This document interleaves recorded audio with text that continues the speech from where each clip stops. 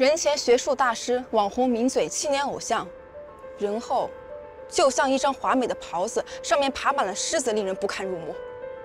这难道就是当红偶像的双面性？一桩性骚扰事件，或许可以让我们看清偶像的真实面目。下面请看我对当事人白巧巧的采访。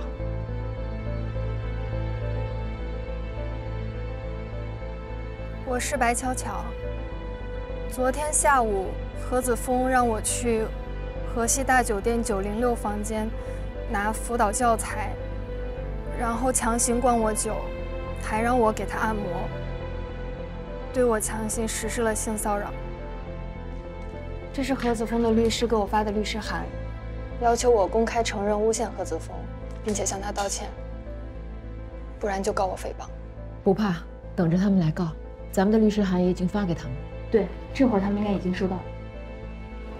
燕姐，何子峰的律师给我和我们公司发布了律师函，要求我们对散播、传播不实信息，在媒体上公开向何子峰郑重道歉，不然就要追究我们的法律责任。究竟谁该郑重道歉？咱们等着看。不用管他们了，不用。姑娘。何子峰的经纪人刚打来电话，说要见面。见见也无妨。巧巧，如果何子峰提出和解，你愿意接受吗？只要他同意公开跟我道歉，并且支付一定的精神损害费，我可以接受。我知道。哎，我还是跟你一块去吧。对方刚刚在电话里的态度还是很蛮横的。好，奉上。我们去跟他的经纪人谈，你是不能报道的。我没有说我要报道啊。那你有什么事吗？没什么，你去吧。啊。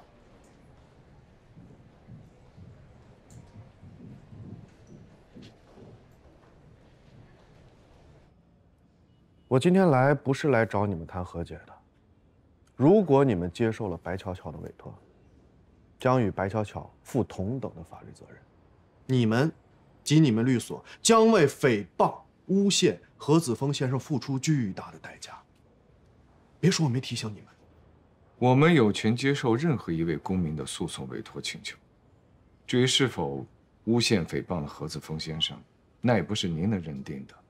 法律自会给出公正的裁决。就凭你们，也想撼动何子峰先生？在公众面前，你们连给何先生提鞋都不配。如果我们不能私下解决的话，我想，还是请法庭来做主吧。姑娘，我们走。别着急走啊，我话还没说完呢。这样，我呢，再给你们一分钟时间。马上给我个答复。我已经答复过您了，我们有权接受任何一位公民的诉讼委托请求。敬酒不吃吃罚酒是吧？白巧巧算个什么东西啊？告名人给自己长脸是吗？对何子峰先生仰慕的人不知道有多少。何子峰先生需要对白巧巧那样的货色实施性骚扰吗？我看他是被害妄想症，产生幻觉了吧？对一个女孩使用如此刻薄的言辞，并不能证明你们的正义和清白，相反，只会让人感觉你们做贼心虚。哎呦，你们这些女人是不是都有妄想症啊？怪不得白娇小会找你，一丘之貉，都不是东西。哎哎哎，请你对女士说话文明一点。我不文明吗？我已经很文明了。我告诉你们，别妄想着指控何子峰先生。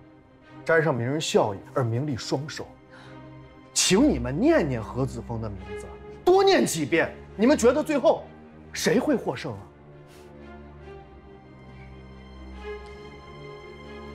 你要是那么喜欢念咒的话，就请回家慢慢念吧，好吗？怎么说话呢？何子峰先生的名字是被你糟蹋的吗？要说糟践，那也是何子峰先生自己糟践自己。再加上你们这些狐假虎威的喽啰们！啊！干嘛你？我告诉你们，别想把何子峰先生拖入诉讼当中，白巧巧的案子不撤也得撤。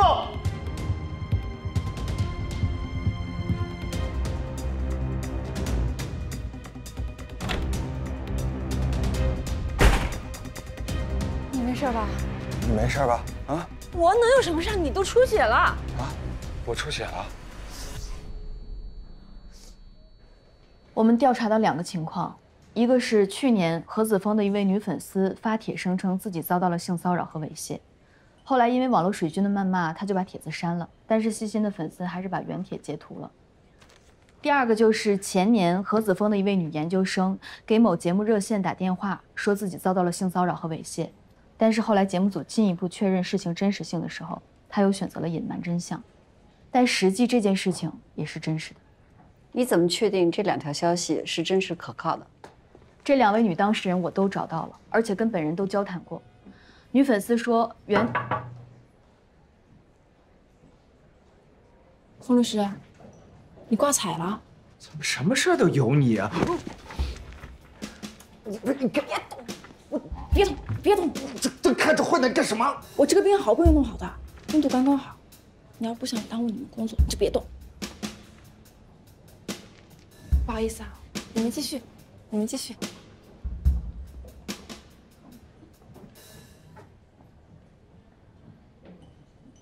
哦，呃，我刚才说到哪儿了？啊，嗯，刚才令主任问你，哦，我我问什么了？呃，你问他，呃，那两条信息是否属实？啊，对，呃，女粉丝说她的帖子内容是绝对属实的，只是因为何子峰的势力和名气，她就选择了忍气吞声。女研究生说，当时事发的时候正值硕士毕业前夕，她怕自己毕不了业，所以也选择了隐瞒。那他们愿意出庭作证吗？女研究生愿意，而且她掌握了被猥亵的铁证，是事发过程的完整录音。哦，那太好了。多行不义必自毙。那那个女粉丝呢？是不是有什么顾虑？她男朋友可能会介意，但是她说再考虑一下，今天给我答复。就冲着何子峰那个经纪人的嚣张和蛮横，我绝不会向他和他的主子低头。谢老板的仗义，这是我们为律所笑死走。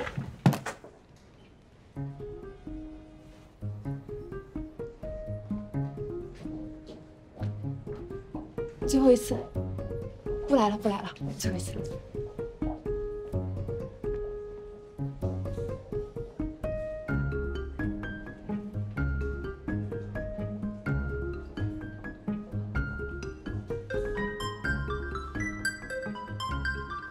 女粉丝，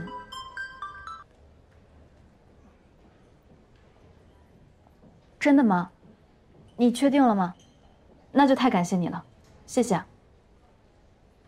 女粉丝也愿意出庭作证了。太好了，那咱们就跟何子峰法庭上见吧。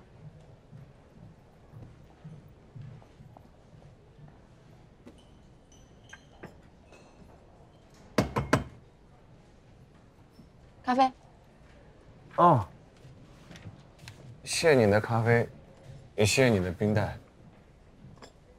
哎，你怎么还没走啊？你就这么不乐意看见我啊？那我现在走了。我不是怕耽误。你说离婚案？这个离婚案，那个我们的委托人当时跟我们说的是，她的丈夫常年夜不归宿。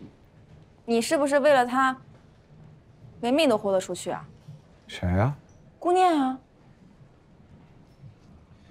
我是为了当事人的利益，也是为了律所。那如果我遇到同样的情况，你也会为我鞍前马后，一直陪着我吗？你这是什么问题？你认真回答我。如果你也遇到危险，那么我也一定会帮你。不过打住，有你这句话就够了。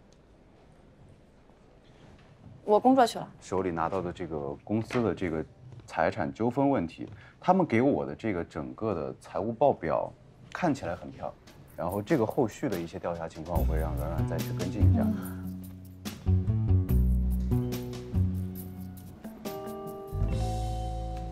何子峰性骚扰事件一波未平一波又起，继白巧巧之后，又有两名女当事人勇敢地站出来，控诉何子峰的性骚扰。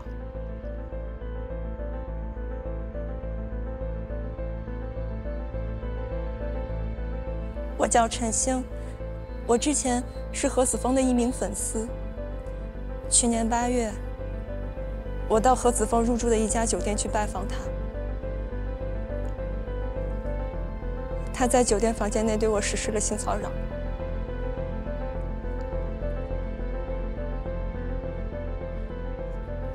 我叫陶兰婷，曾经也是何子峰的一名研究生。前年六月。我跟何子峰乘坐同一辆轿车去参加学术会议，他对我实施了性骚扰。当时他的司机是他的私人司机，何子峰完全不避讳司机的存在。我拼命挣扎，他还是没有放过我。所以在气愤之下，我悄悄用手机录下了当时发生的一切。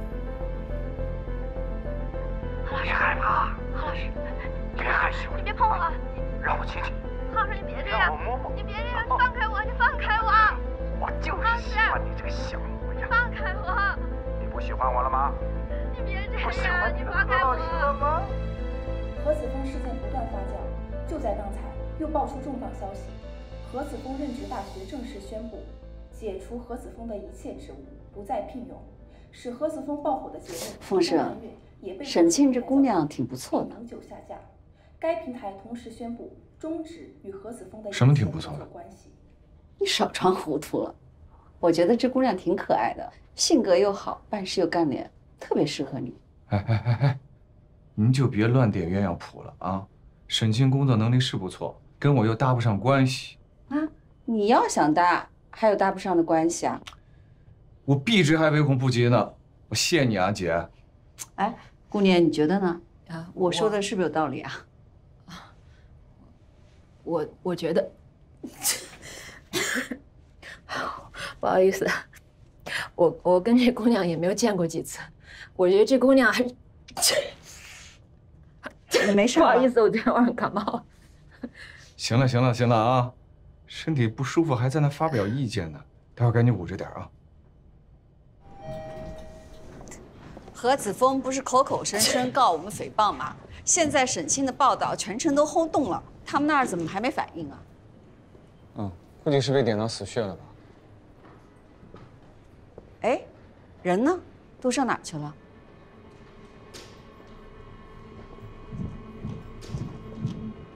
我特别想知道，何子峰本人此时对他所侵犯的受害者有什么想说的吗？此时我们所在的位置就是何子峰教授平时会出现。他来了。先生。能接受我们的采访吗？哎，对。何先生，对于您对不止一名女性实施性侵犯，你想说些什么吗？我不接受采访，对不起。您对于受害者白小小、陈星、陶兰婷，你想说些什么吗？您不想对他们有一个道歉吗？我只是犯了大多数男人都会犯的错误。大多数男人都会犯的错，您还挺清白无辜的。你去问问他们，当初求着啊，哭着喊着见我，他们的动机就那么纯洁无辜吗？看来你对你的行为没有一点反思和歉意。你错了，我会用我的余生闭门思过。哼，那这女孩挺猛啊，穷追猛打的。嗯，封主任这女朋友有点出息，是挺猛。这样的女孩，一般人可招架不住啊！哎，你们发现没？这女孩还有点念姐那劲头呢。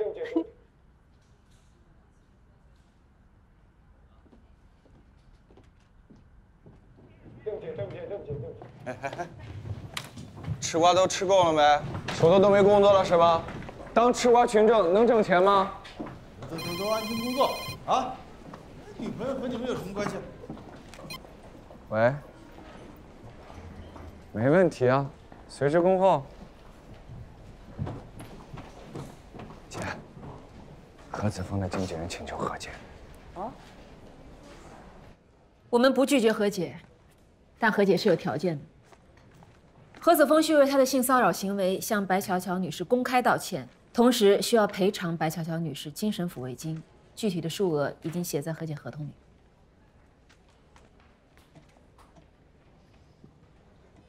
何子峰现在倒霉了，只好由得你们来羞辱。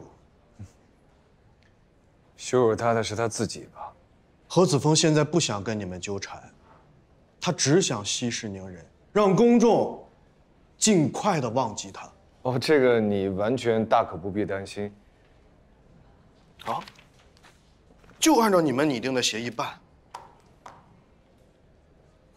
你们是不是从来没有如此轻松的赢过一桩案子啊？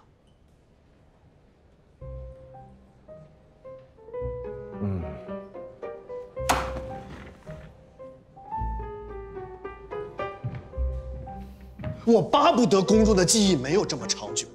我告诉你们，何子峰会隐退一段时间，公众越快的忘记何子峰，何子峰就会越快以全新的面貌杀回来。他到底有多么的留恋红尘啊？他曾经站在红尘之巅，笑看众生。这种思维换做你，你不留恋吗？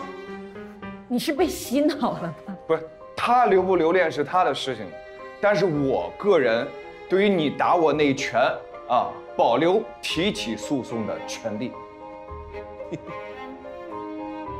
俗人，俗人，你们这些俗人是无法理解的。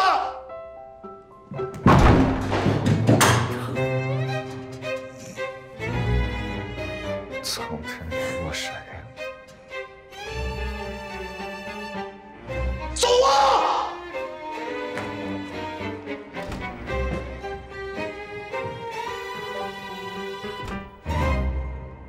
玻璃没事吧？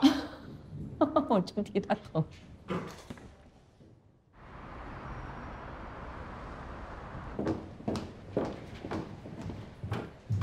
公安机关现在已经对何子峰的性侵案依法进行了立案调查，他们的麻烦就大了。不是不报，时候未到。说吧，都不是外人。怎么了？念姐，嗯，我们公司要解雇我，为什么？因为我报道了何子峰的性骚扰事件，出了风头，成了网红媒体人。我们部门主任嫉妒我，不光扣了我这个季度的奖金，而且还取消了我优秀员工的评选资格。我当然气不过，我就写了一封公开信，放到了我们公司内部的社区网络上。结果这一下彻底得罪了他。这一大早就收到了这个解除劳动合同的通知书。解除的理由居然是违反公司的规章制度，这简直就是污蔑、诽谤。我那么拼死拼活的为公司卖命，他们说不要我就不要我了，而且不要我了还给我扣一个这个侮辱人的帽子，太欺负人了吧？封主任，您有什么建议吗？哼我认为他的公司解除他的劳动合同缺乏合理性。我也这么认为，而且你辛辛苦苦为公司工作了这么多年，就心甘情愿这么不了了之了？当然不甘心了，但这我们怎么办呢？起诉你们公司，用法律的武器来保护自己。我可以当你的代理律师，替你讨回公道。怎么着？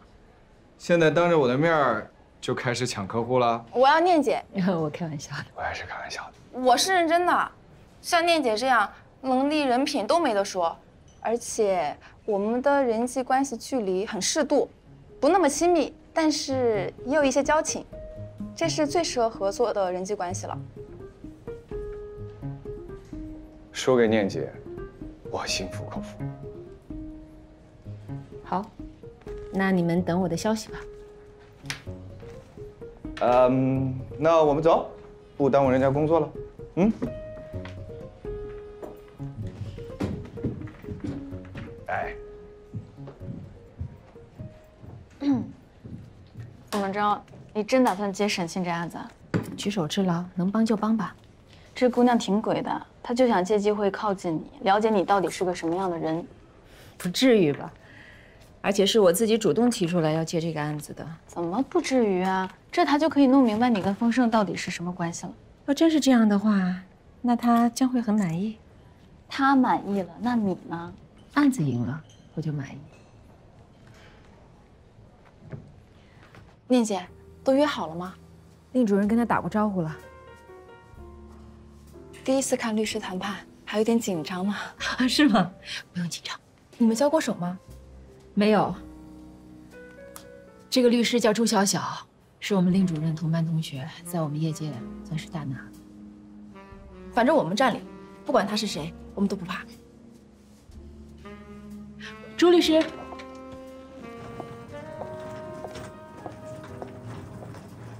您好，顾律师吧？对啊，我刚下飞机，时差还没倒过来呢。真是太辛苦了，最近事儿实在是太多了。沈庆吧？是，撤诉吧。凭什么我们撤诉啊？不撤诉也行，我们就法庭上解决。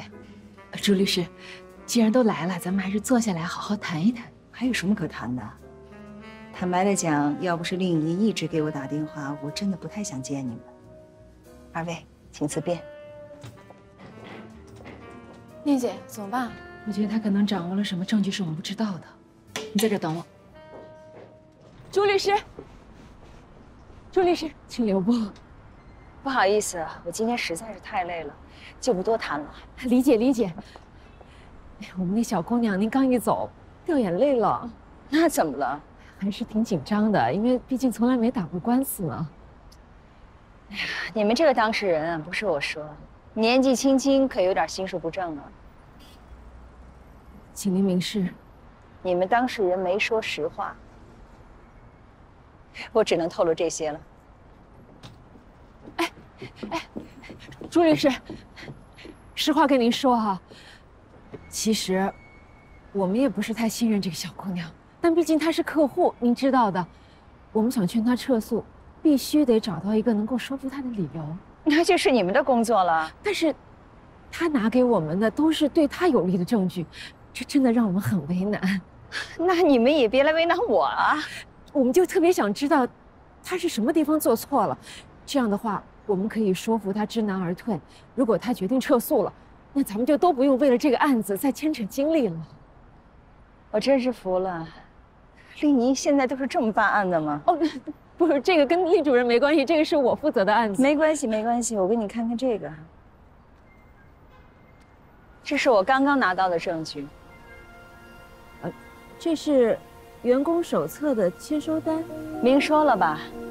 公司解除与沈庆小姐的劳动合同是有原因的。沈庆在公司内部的网络平台上发帖。用侮辱性的语言攻击领导和同事，严重违反了员工手册的规定和要求。我查阅过他们的员工手册，里面没有相关的条款和表述。之前是没有，但是最新修订版的员工手册里明明写了这一条，沈庆应该知道。他在最新版的员工手册签收单上签字确认了。朱律师，沈庆是二十六号被开除的。这份新的员工手册二十五号才下班，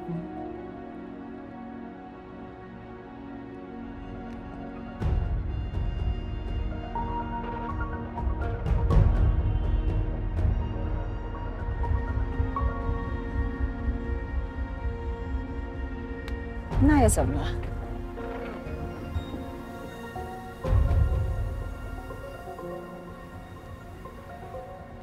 宁姐。车上能充电吗？可以，插在这儿就行。朱律拿出了那份签收单，你确定没有签过啊？我保证，我肯定没有签字。那我就有数了。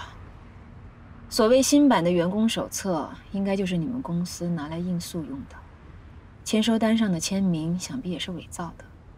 等朱律师回去把情况都了解清楚了。相信他就不会有底气对咱们这么强硬了。谢谢念姐，今天要不是你，我真的不知道该怎么对付他们。感觉你就像带着光环一样。我有那么神吗？当然了。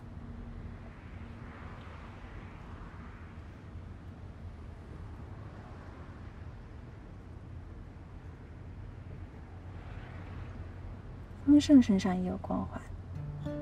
你们两个人是同一届的吗？同届。同班？同班。那他喜欢过你吗？你喜欢过他吗？我们不是像你想象的那种关系。那怎么形容你们俩的关系比较合适呢？同学、同事、上级和下属。这有点奇怪。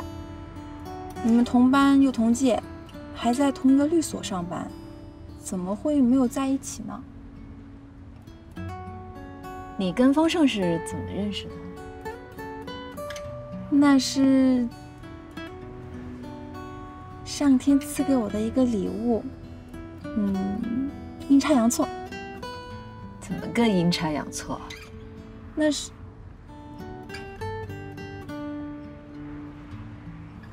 我们之间的秘密，下次再告诉你。王念姐，那个笔记的鉴定结果开庭前能出来吗？不用等到开庭，朱律师明天就会给我打电话了。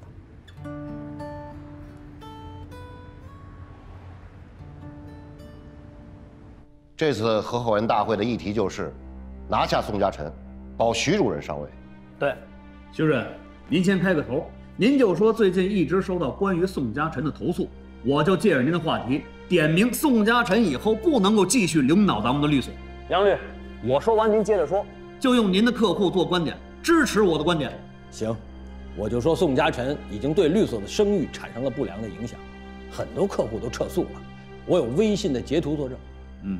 那各位，有一点大家一定要记住，咱们不支持宋主任回来，是因为迫于无奈啊，是为了律所的前途和生存，这点很重要，知道吗？对对对，关键是投票的环节啊，刑事部、国企部、房地产部，这都是宋家晨的嫡系，不可能站在咱们这一边。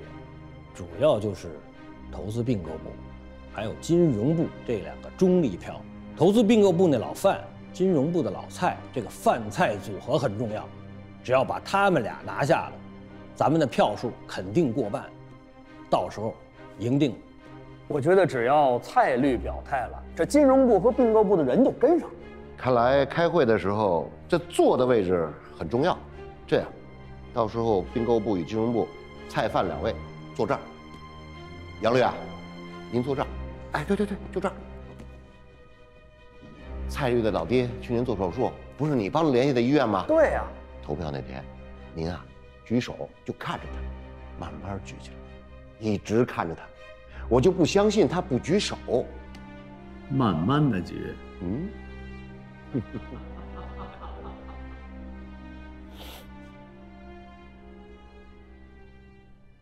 方旭，你什么时候来的？我我刚刚进来，不是你让我来的吗？来，坐。我还是站着。这样，过两天要开一个合伙人会议，我希望你能参加。我参加合适吗？小方啊，徐主任经常跟我们夸到你，说你身上有一种年轻人的率性啊。过奖了，没错，小方。我们知道你在益盛河的遭遇，为你打抱不平啊！是宋家晨把天伦乾坤的业务输送给了顾念，否则你不会输。你只要相信我们的话，天伦乾坤一定会给你个交代。但是，有些事情还需要你自己挽回面子。我们希望你在合伙人大会上证明一件事儿。证明什么呀？证明宋家晨徇私妄为。他把天伦乾坤的客户输送给了易盛和。哎哎哎，方旭，到时候你就实话实说，把你在易盛和受的那些不公的待遇说出来就可以了。不要紧张，别有压力。放心吧，主任，我一定会实话实说的。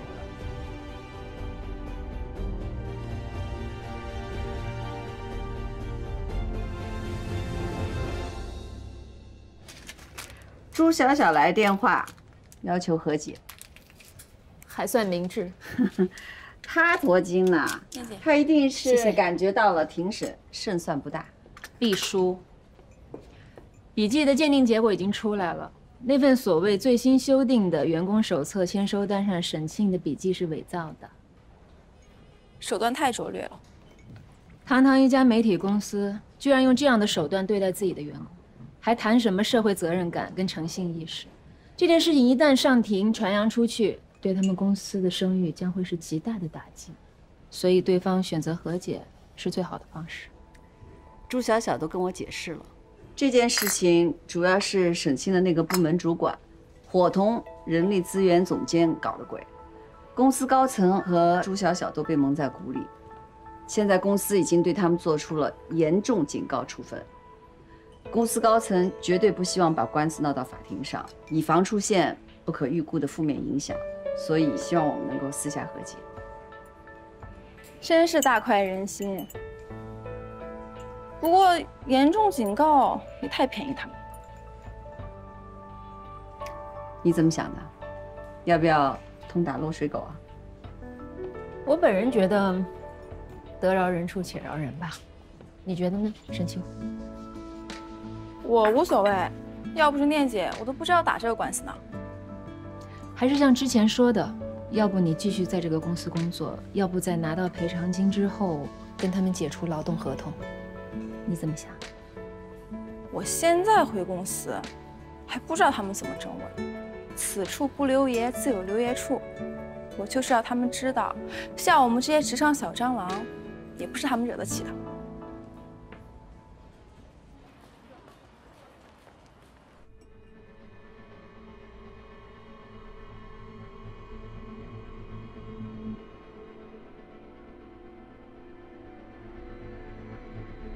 看来开会的时候，座位很重要啊。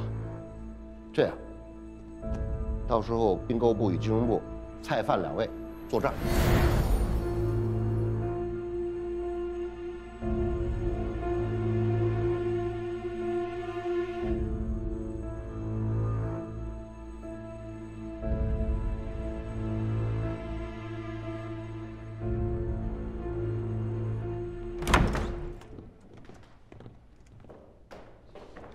宋主任，哎，你也在这儿，坐。我没迟到吧？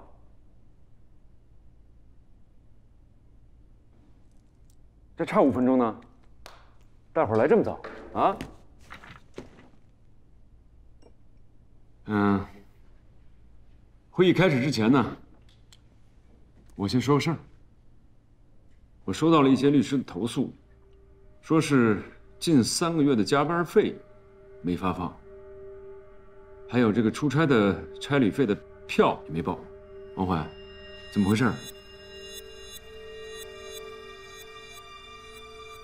主任，这种小事咱们会后解决吧？啊，不不不，这不是小事儿，罗岩。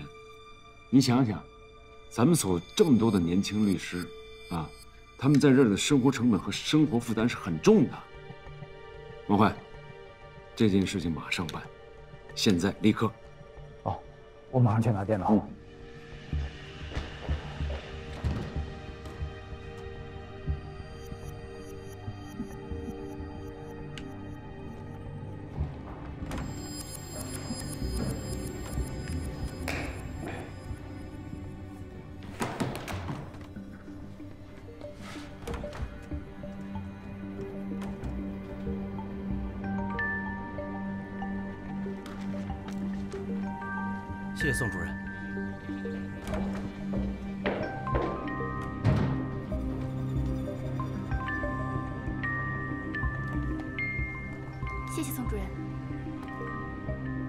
谢谢宋主任。谢谢宋主任。谢谢宋主任。谢谢宋主任。谢谢宋主任。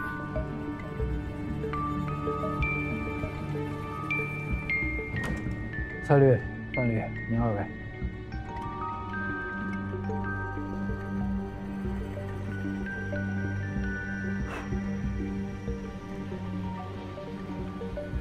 谢谢宋主任。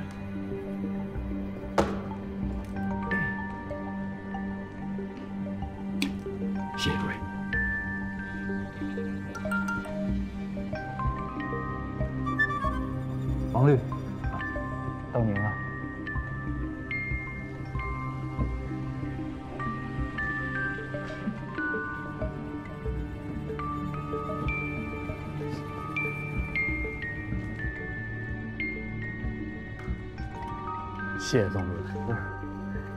腿还没好呢，就快好了，绝不耽误工作。小心点。哎，好。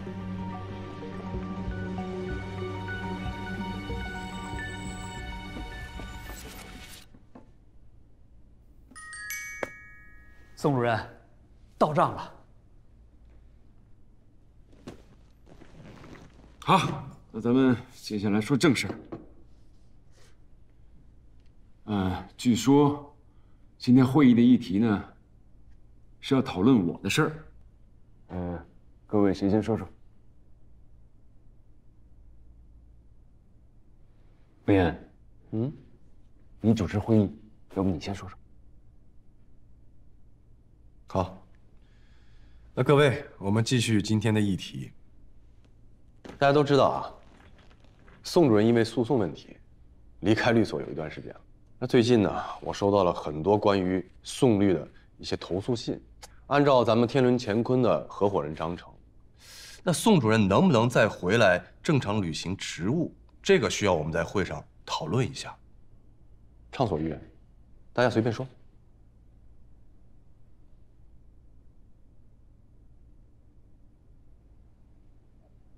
王律，嗯，您的意思呢？我，我我我没什么意见，呃，服从组织安排。杨律，您呢？我我我先听大家怎么说。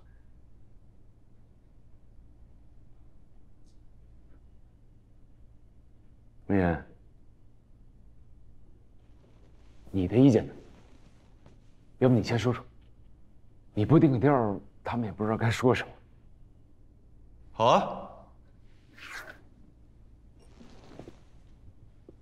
那我就说两句。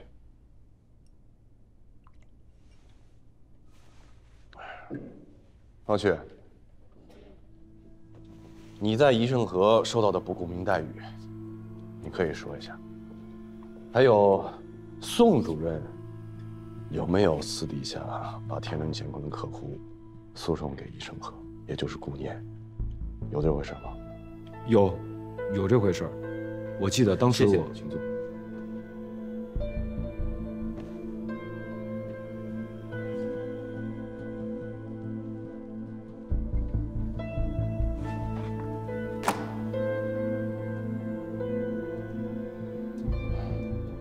主任，你有没有？为了替姑娘保驾护航而牺牲律所的利益呢？你承认吗？哥，我有个想法，不知道行不行？你说咱天伦乾坤每年有那么多案子消化不了，要推荐给别的律所，那与其推荐给别的律所，还不如推荐给嫂子，把一半利润算给宜正和，你觉得怎么样？我倒觉得穆言这个主意不错。怎么说，天伦乾坤也是咱们自己的律所。跟谁合作不是合作，只不过是便宜了一盛和。行，穆言就按你说的办，你挑几个质地不错的案子，回头给一盛和送过去。穆言，我记得当初是这件事还是你向我提议的。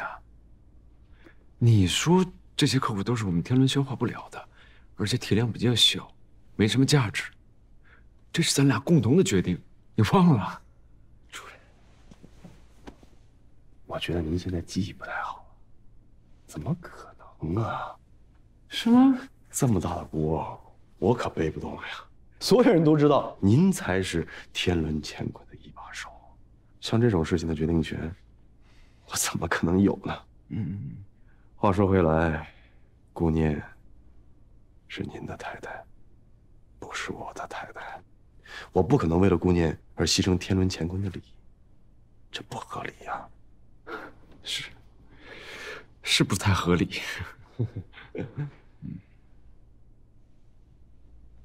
空口无凭啊！我请大家听一段录音。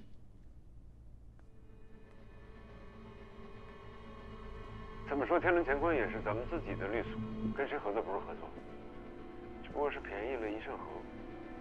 顾言，挑几个质地不错的案子，给一盛和送过去。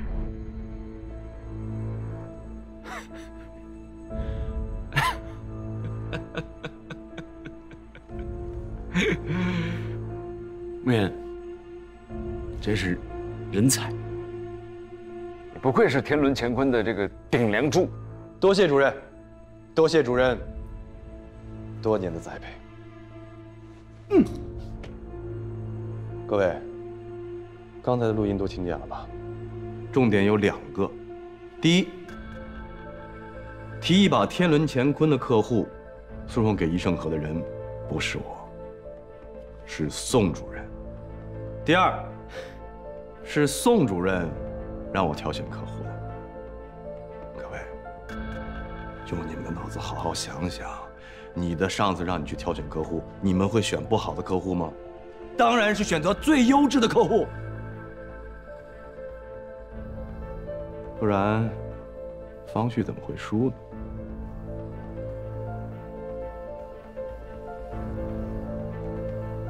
是不是方旭？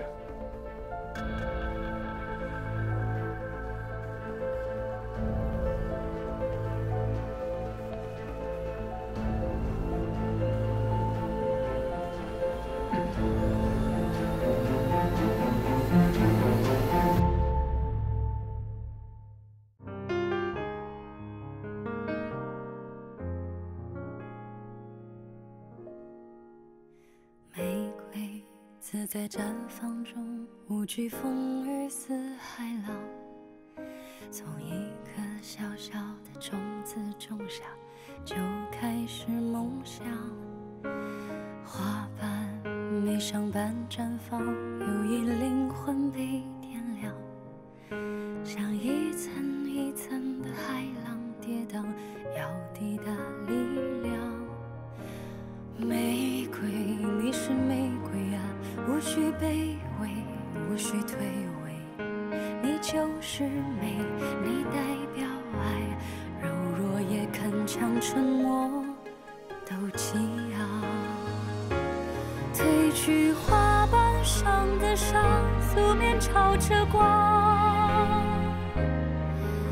灵魂里幽幽暗藏温柔世界的原谅，披上晨露中的妆，